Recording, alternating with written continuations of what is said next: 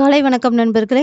இன்றைக்கி நம்ம நிப்பான் gold piece. அதை பற்றி பார்த்துட்டு அதோட பியர்ஸ் கூட ஒரு கம்பேரிட்டிவ் அனாலிசிஸ் பண்ணலாம். Basic details Nippon gold BeES பற்றி பார்த்தீங்கன்னா இது நிப்பான் கோல்ட் இடிஎஃப் இடிஎஃப்னா எக்ஸ்சேஞ்ச் ட்ரேடட் ஃபண்ட்ஸ் ஸோ இந்த நிப்பான் கோல்ட் பீஸ் பார்த்தீங்கன்னா இல்லை எனி கோல்டு இடிஎஃப் பார்த்தீங்கன்னா ஃபிசிக்கல் டொமெஸ்டிக் கோல்டோட மணி வேல்யூவை ரெப்ளிகேட் பண்ணுவாங்க in ninety nine point nine percent பியூரிட்டியில் so இந்த நிப்பான் கோல்ட் பீஸோட என்ஏவி நெட் அசெட் வேல்யூ பார்த்தீங்கன்னா as on September fifteen twenty twenty three fifty point one seven so இவங்க வந்து எவ்வளோ யூனிட்ஸ் ஆஃப் கோல்டு ஆஃபர் பண்ணுறாங்களோ அதுக்கேற்ற மாதிரி ninety nine point five percent பியூரிட்டியில் gold வச்சுருப்பாங்க ஃபிசிக்கல் கோல்டு இதர் கோல்டு பா பார் இல்லைனா கோல்டு காயின்ஸில் வச்சுருப்பாங்க. அதனால் இதில் மேக்கிங் சார்ஜஸ்லாம் வராது. ஸோ இதை வந்து நீங்கள் யூனிட்ஸ் ஆஃப் இடிஎஃப்ஸாக வாங்கலாம். அதாவது நீங்கள் ஒரு கிராம் கோல்டு வாங்கியாகணுன்ற அவசியம் கிடையாது.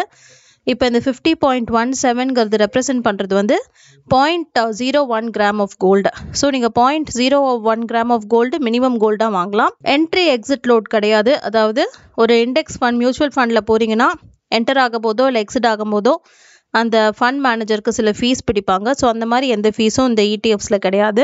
டாக்ஸேஷன் பார்த்தீங்கன்னா தேர்ட்டி சிக்ஸ் மந்த்ஸ் வரைக்கும் short term capital gains tax applicable thirty six மந்த்ஸுக்கு மேலே long term capital gains tax applicable so twenty percent tax indexation பெனிஃபிட்டோட indexation benefit இல்லாமல் பார்த்தீங்கன்னா டென் பர்சன்ட் டேக்ஸு இப்போ இண்டெக்ஸேஷன் பெனிஃபிட்னா என்னங்கிறதுக்கு நான் ஒரு தனி வீடியோ பண்ணுறேன் பட் சிம்பிளாக சொல்லணுன்னா உங்கள் இன்ஃப்ளேஷன் லெவலுக்கு உங்கள் பர்ச்சேஸ் ப்ரைஸை அட்ஜஸ்ட் பண்ணி உங்களுக்கு ஹையர் ரிட்டர்ன்ஸ் வரும். இந்த இண்டெக்ஸேஷன் பெனிஃபிட்ஸ் ஒரு இதுக்கு இருந்ததுன்னா உங்களுக்கு ஹையர் ரிட்டர்ன்ஸ் வரும். இண்டெக்ஸேஷன் பெனிஃபிட்ஸ் இல்லைன்னா உங்களுக்கு ரிட்டர்ன்ஸ் கொஞ்சம் கம்மியாகும். ஸோ அப்பார்ட் ஃப்ரம் திஸ் உங்களுக்கு வெல்த் டேக்ஸு ஜிஎஸ்டி இல்லை செக்யூரிட்டைசேஷன் டேக்ஸ் அந்த மாதிரி எந்த டேக்ஸும் கிடையாது.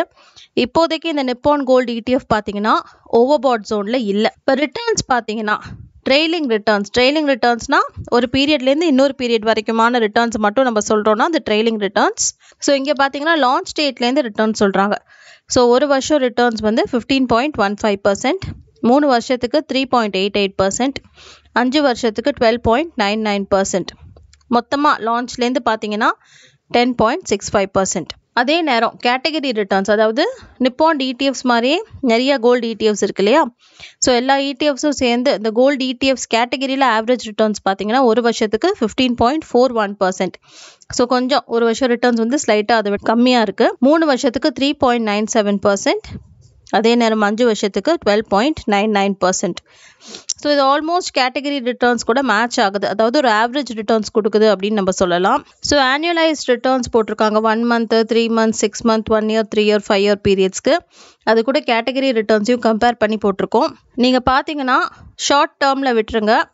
ஒரு சிக்ஸ் மந்த்லேருந்து எடுத்திங்கன்னா கேட்டகரி ரிட்டர்னை விட சிக்ஸ் மந்த் ரிட்டர்ன் கொஞ்சம் கம்மியாக இருக்குது ஒன் இயர் ரிட்டர்ன் ஆல்மோஸ்ட் சிமிலராக இருக்குது த்ரீ இயர்ஸ் ரிட்டர்ன் கேட்டகரி ரிட்டர்னை விட கொஞ்சம் கம்மியாக இருக்குது அதே மாதிரி ஃபைவ் இயர்ஸ் ரிட்டர்ன் கேட்டகரி ரிட்டர்னோட ஸ்லைட்டாக பாயிண்ட் ஜீரோ த்ரீ தான் அதிகமாக இருக்குது ஸோ ரேங்க்ஸ் பார்த்தீங்கன்னா within category fourteen twelve ten for different yearly ரிட்டர்ன்ஸ்க்கு different types of ranks கொடுத்துருக்காங்க.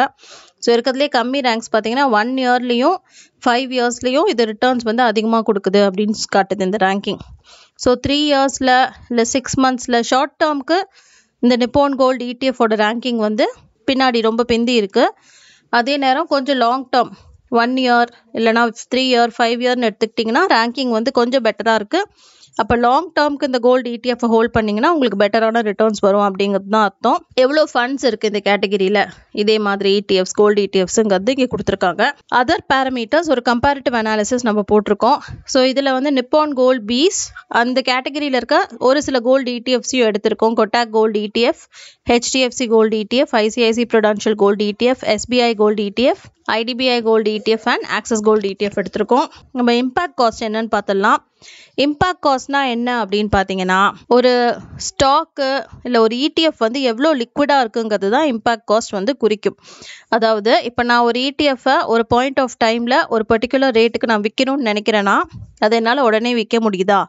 இல்லை அதுக்கு வந்து டிமாண்ட் இல்லாமலோ இல்லை வேறு சில காரணங்களாலேயோ அது கொஞ்சம் நேரம் கழித்து தான் என்னால் விற்க முடியுதாங்கிறத பொறுத்து தான் இம்பேக்ட் காஸ்ட் வந்து கேல்குலேட் செய்யப்படும். ஸோ இன்கேஸ் அது டிலே ஆனாலோ இல்லை ஏதோ ஒரு ரீசன்னால் அது டிலே ஆச்சுன்னா அதுக்கான எக்ஸ்ட்ரா காஸ்ட் நான் இன்கர் பண்ண வேண்டியிருக்கும். நான் நினச்ச நேரத்துக்கு நான் நினச்ச ப்ரைஸ்க்கு விற்க முடியாமல் போயிருக்கலாம். ஸோ அந்த எக்ஸ்ட்ரா காஸ்ட் எல்லாம் எடுத்து இந்த இம்பேக்ட் காஸ்ட்டை கால்குலேட் பண்ணுவாங்க. ஸோ இம்பேக்ட் காஸ்ட் எவ்வளோக்கு எவ்வளோ கம்மியாக இருக்கும் அவ்வளோக்கு அவ்வளோ இந்த பர்டிகுலர் இடிஎஃப் வந்து பயங்கர லிக்விடாக இருக்குது easily tradable in stock market அப்படின்னு அர்த்தம்.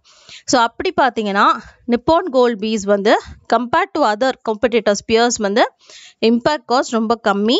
So compared to other gold ETFs இது one of the most easily tradable liquid ETF அப்படின்னு நம்ம சொல்லலாம். இதோட இம்பேக்ட் காஸ்ட் பார்த்தீங்கன்னா zero point zero three Kotak gold வந்து zero point zero seven HDFC gold வந்து zero point zero five ICICI point one two SBI point zero five so சில இடிஎஃப்ஸ்க்கு எனக்கு ப்ராப்பரான டேட்டா கிடைக்கல ஸோ நான் அதை பிளாங்காகவே விட்டுட்டேன். இப்போ எக்ஸ்பென்ஸ் ரேஷியோக்கு வருவோம். எக்ஸ்பென்ஸ் ரேஷியோவில் நீங்கள் மற்ற இடிஎஃப்ஸோட கம்பேர் பண்ணிங்கன்னா நிப்பான் கோல்டு இடிஎஃப்து கொஞ்சம் ஹையர் எண்டில் தான் இருக்குது expense ratio point eight expense ratio அதே நேரம் கொட்டாக் வந்து point five HDFC point five nine ICICI point five so IDBI பார்த்தீங்கன்னா ரொம்ப லோவாக இருக்குது point three five so expense ரேஷியோங்கிறது இது எங் என்னன்னு பார்த்தீங்கன்னா உங்களுக்கு இடிஎஃப் ட்ரேட் பண்ணும்போது அந்த ப்ரோக்கரேஜ் சார்ஜஸ்ஸு இந்த இடிஎஃப் மேனேஜ்மெண்ட் சார்ஜஸ் அதெல்லாம் தான் எக்ஸ்பென்ஸ் ரேஷியோவில் வரும். ஸோ அது ஹையாக இருக்கும்போது இப்போ என்ன ஆகும்னா உங்களுக்கு வரக்கூடிய ரிட்டர்ன்ஸ் வந்து மற்ற இடிஎஃப்ஸை கோல்டு இடிஎஃப்ஸை கம்பேர் பண்ணும்போது கம்மியாகும். ஸோ ஆனுவலைஸ் ரிட்டர்ன்ஸ் வந்து உங்களுக்கு கம்மியாயிரும். எக்ஸ்பென்ஸ் ரேஷியோ அதிகமாக இருந்துச்சுன்னா. ஸோ எக்ஸ்பென்ஸ் ரேஷியோ வச்சு பார்க்கும்போது இது ஒரு average performing gold ETF compared to its peers ஏன்னா மற்ற பியர்ஸோட எக்ஸ்பென்ஸ் ரேஷியோ கொஞ்சம் கம்மியாக இருக்குது இதை விட. ட்ராக்கிங் எரர் ட்ராக்கிங் எரர் என்னால் நிறையா இடிஎஃப்ஸ்க்கு ப்ராப்பராக ஒத்தென்டிகேட்டட் டேட்டா கிடைக்கல.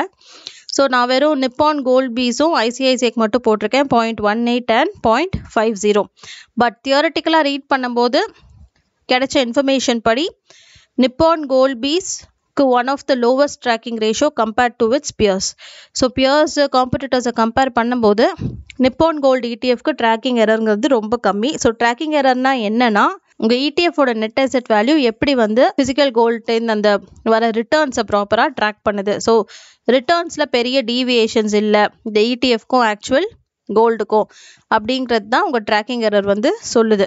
ஸோ அந்த ட்ராக்கிங் எரர் எவ்வளோக்கு எவ்வளோ கம்மியாக இருக்கோ அவ்வளோக்கு அவ்வளோ அந்த இடிஎஃப் வந்து நல்லா மேனேஜ் செய்யப்படுது அப்படின்னு அர்த்தம். ஸோ அப்படி பார்த்தீங்கன்னா பியர்ஸோட கம்பேர் பண்ணும்போது நிப்போன் இடிஎஃப்க்கு ட்ராக்கிங் எரர் ரொம்ப கம்மி. ஸோ அது better manage ETF compared to the to the other peers one year performance நம்ம ஆல்ரெடி நம்ம ஆல்ரெடி நிப்பான் கோல்டு இடிஎஃபோட பர்ஃபார்மன்ஸ் பார்த்தோம். அதுக்கு பியர்ஸ் கூட கம்பேர் பண்ணி பார்க்கலாம். So sixteen point four two நிப்பானோட gold ETF performance Kotak வந்து sixteen point four nine HDFC வந்து seventeen point two eight ICICI sixteen point six zero SBI வந்து sixteen point nine zero and IDBI வந்து twenty nine point four six one year performance so compared to its peers கொஞ்சம் slightly ஒரு few points கம்மியாக தான் இருக்குது அவங்க performance because expense ratio வந்து கொஞ்சம் அதிகமாக இருக்குது ஆனால் அதே நேரம் நீங்கள் மைண்டில் வச்சுக்கணும். Nippon gold ETF one year இல்லைனா த்ரீ இயர் இல்லைனா ஃபைவ் இயர்க்கு ஹோல்ட் பண்ணிங்கன்னா தான் ரிட்டர்ன்ஸ் பெட்டராக இருக்குது ஷார்ட் டேர்முக்கு ஹோல்ட் பண்ணுறதை விட. இதில் நிப்போன் கோல்ட் பீஸோட அட்வான்டேஜ் இப்போ நீங்கள் இவ்வளோ நேரத்தில் பார்த்ததில் என்னன்னு பார்த்தீங்கன்னா highly liquid highly tradable in stock market compared to peers low tracking error compared to its peers இதெல்லாம் அட்வான்டேஜஸ் அதே நேரம் expense ratio is slightly higher பியர்ஸோட compare பண்ணும்போது அதனால் பெர்ஃபார்மன்ஸ் கொஞ்சம் கம்மியாக இருக்குது பியர்ஸோட கம்பேர் பண்ணும்போது. So pros and cons of Nippon gold ETF வந்து உங்களுக்கு புரிஞ்சிருக்கும்னு நம்புகிறேன் ஏதாவது டவுட்ஸ் இருந்தால் காமெண்ட்ஸில் மென்ஷன் பண்ணுங்கள் கிளாரிஃபை பண்ணுறேன் thank you so much for வாட்சிங் மீண்டும் ஒரு வீடியோவுடன் சந்திப்போம்.